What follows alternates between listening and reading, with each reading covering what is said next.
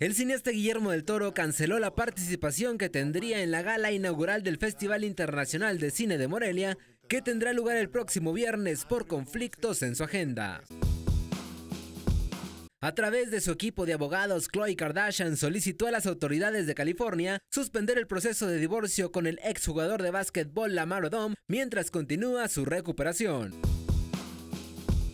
La compañía Sony Pictures acordó una indemnización por 8 millones de dólares a los empleados que fueron víctimas del ciberataque el año pasado y cuya información fue filtrada en Internet.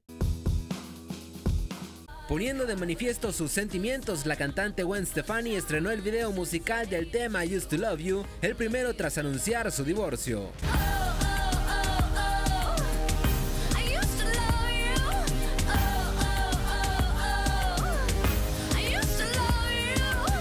Hugo Núñez, Televisa Espectáculos.